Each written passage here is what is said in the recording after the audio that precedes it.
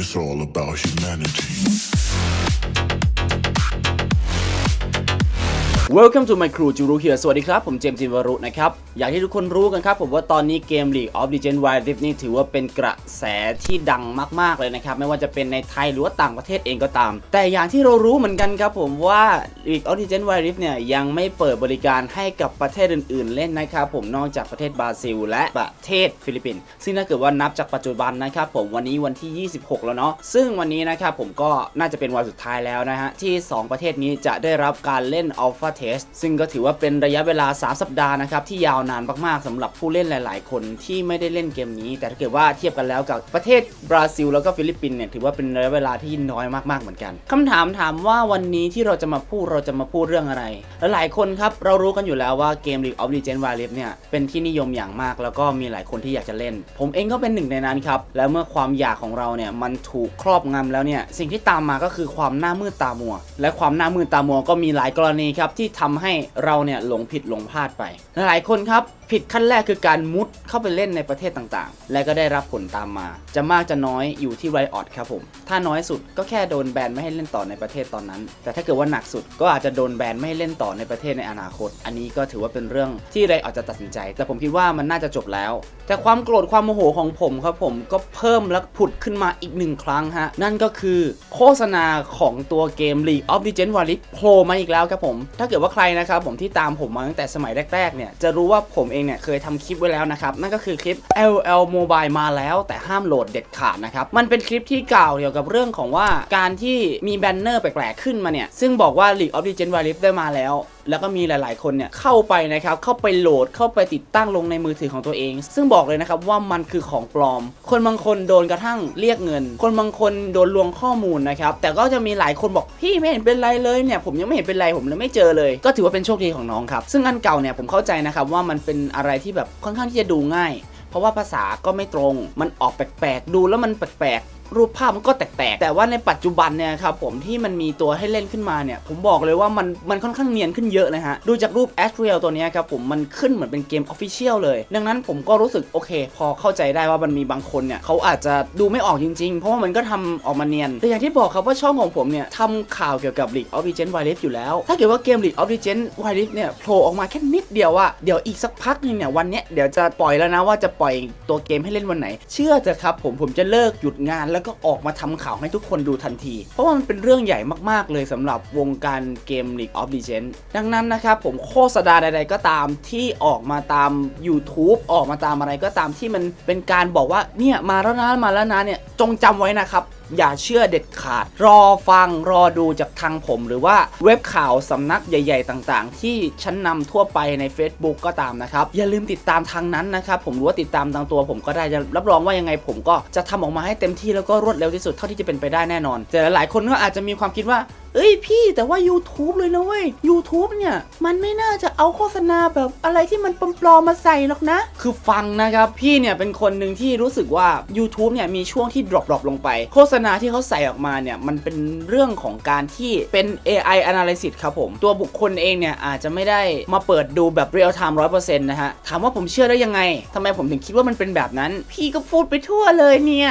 ที่พี่รู้สึกอย่างนั้นแล้วพี่รู้สึกโกรธมากเลยจะถามว่าพี่โจมตี YouTube ไหมพี่ไม่ได้โจมตีนะเว้ย แต่พี่แค่รู้สึกไม่พอใจกับเรื่องแบบนี้ เดี๋ยวผมขอแยกเป็นข้อๆแล้วกัน 1. โฆษณาปลอมไม่ทำการตรวจสอบเลยว่า League of Legends Wild Rift หรือตัว banner ที่โฆษณาในการลงเนี่ย มันเป็นของจริงหรือว่าเป็นของปลอม มันหลอกลวงผู้บริโภคไหมเพราะ เครดิตของ YouTube มันขึ้นแล้วว่ามันเป็น YouTube ดังนั้นคนก็จะเชื่อในความเป็น YouTube นึกภาพออกปะดังนั้นพวกที่มันเป็นสิ่งที่ไม่ถูกต้องแบบนี้มันก็จะพยายามเข้ามาได้ แล้วเมื่อมันเข้ามาได้ปุ๊บมันได้ความยืนยันจาก YouTube ไปแล้ว ดังนั้นลิงก์พวกนี้ไม่รู้ว่าจะกดคลิกต่อวันเนี่ยกี่ล้านครั้ง มีคนที่ตกเป็นเหยื่อกี่คน คนบางคนที่ยังเป็นเด็กเป็นอะไรอยู่ที่ยังไม่สามารถแบบคิดได้ว่าเฮ้ยตรงนี้มันเป็นของปลอมนะตรงนี้เป็นของจริงนะ จริง ๆ บางคนผู้ใหญ่ก็อาจจะโดนด้วยซ้ำผมก็เคยโดน ดังนั้นผมสำหรับผมผมถือว่า YouTube ทำผิดพลาดในตรงนี้ ควรจะเช็คลิงก์ควรจะเช็คอะไรให้มากกว่านี้นะครับ ข้อที่ 2 นะที่ผมรู้สึกว่าไม่โอเค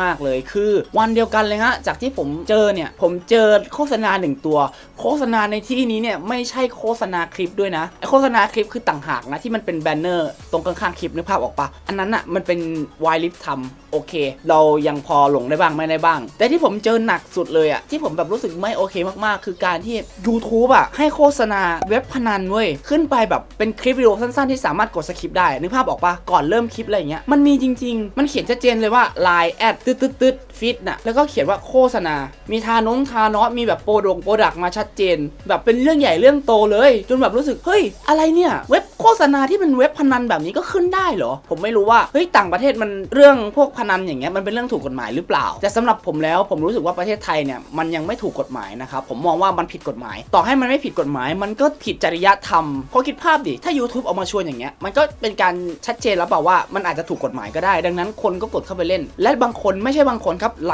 ลายๆ คนและแทบจะทุกคนด้วยซ้ำที่เข้าไปเล่นเว็บพนันออนไลน์เสียเงินไปกี่บาท คุณไม่มีทางที่จะเอาชนะอัลกอริทึมของคอมพิวเตอร์ได้หรอกครับเป็นไปไม่ได้ ยากมากเขาจะป้อนให้คุณได้เขาจะป้อนให้คุณได้เขาจะป้อนให้คุณได้เสร็จปุ๊บเขาจะถอนคืนเขาจะให้ความติดของคุณ ให้คุณติดรู้สึกว่าคุณเล่นไปคุณเล่นได้พอสุดท้ายแล้วเขาก็จะเอาคืนทั้งต้นทั้งดอกเลยแหละ ดังนั้นนะครับ อย่าเด็ดขาด น้องๆ หนูๆ เพื่อนๆ พี่ๆ ชาวโซลทุกคนนะครับ อย่าติดกับเด็ดขาดและข้อ 3 นะครับ ก็ต่อเนื่องมาจากข้อ 2 นะครับ นั่นก็คือ YouTube โฆษณาคลิปพวกนี้ มันก็คล้ายๆกับกรณีนี้แหละครับผมแต่ว่ามันเป็นโฆษณาอีกรูปแบบหนึ่งคือมันเป็นแบนเนอร์ข้างๆ เขียนเป็นปกคลิปชัดเจนว่าวิธีการคำนวณสูตรนั่นสูตรนี่สูตรโน่นวิธีการได้เงินจากเว็บนั้นเว็บนี้ที่มันเป็นเว็บพนันนะฮะ ผมรู้สึกว่ามันไม่โอเคเหมือนกัน แต่ว่าหลังจากที่ผมไปทำการสำรวจแล้วก็ดูในเว็บต่างๆ ในปัจจุบันนี้นะครับที่มันเป็นของ YouTube เนี่ยโฆษณาเหล่านี้เนี่ยก็ค่อนข้างที่จะถอยออกมาแล้วนะครับน่าจะไม่มีหรือว่าทาง YouTube ได้ทำการ terminate ไปแล้วเรียบร้อย ก็ถือว่ายังโชคดีนะครับผมที่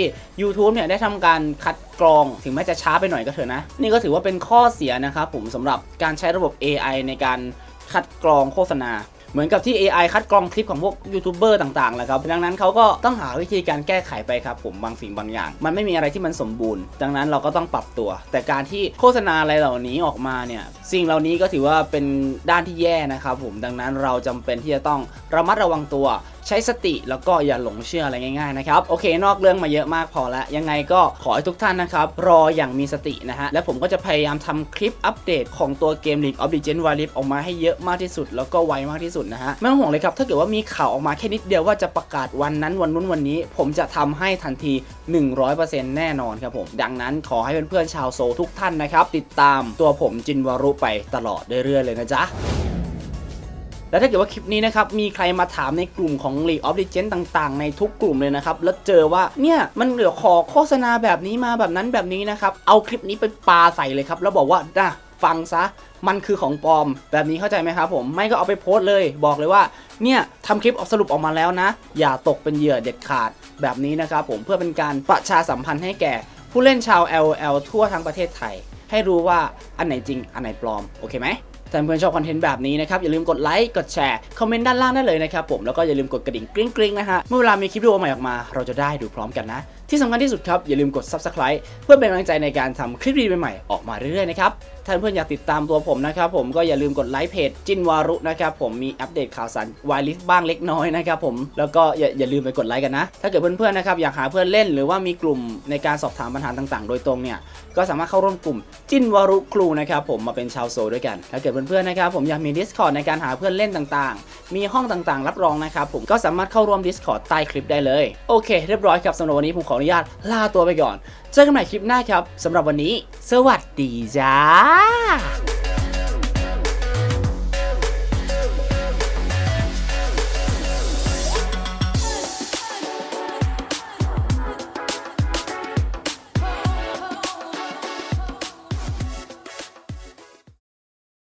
ถ้าใครดูมาถึงตอนนี้นะครับจำไว้นะครับว่าทุกท่านตอนนี้กำลังอยู่ในช่วง end credit นะครับซึ่งถือว่าเป็นช่วงใหม่ที่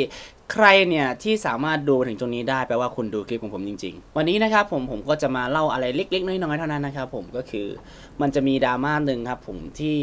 มีคนมาคอมเมนต์ผมบอกว่าผมเนี่ยค่อนข้างหยิงแล้วก็รู้สึกว่าเป็นการเจิร์แล้วก็พูดไม่ค่อยโอเคกับคนดู มันสืบเนื่องมาจากในกรณีที่คลิปของผมไปฟีดกับพี่โรเบิร์ตเชสนะครับ แล้วมีช่วงหนึ่งที่ผมบอกว่า อย่าก่อดราม่านะ ถ้าเกิดว่าใครก่อดราม่าจะไล่แบนให้หมดเลยแบบนี้ ทุกคนครับผมถามจริง ๆ ว่า ทุกคนที่เจอผมในไลฟ์หรือว่าตอนที่แบบผมทำคลิปออกมาเนี่ย ผมเป็นคนแบบนั้นจริงหรือเปล่า ใครจะเชื่อหรือไม่เชื่อก็แล้วแต่นะครับ แต่ผมไม่เคยแบนใครสักคน เต็มที่ก็คือถ้ามีคอมเมนต์ที่มันไม่โอเคมากๆ ที่มันแบบเป็นการด่าทอ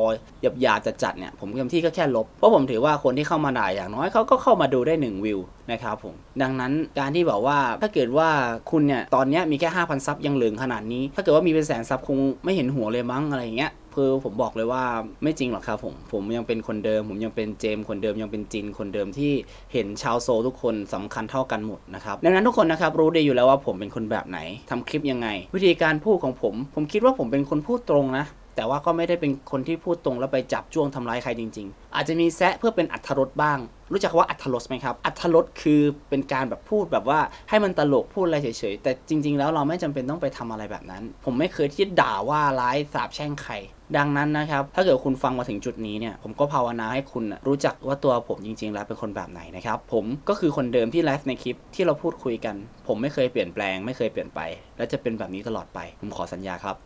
สวัสดี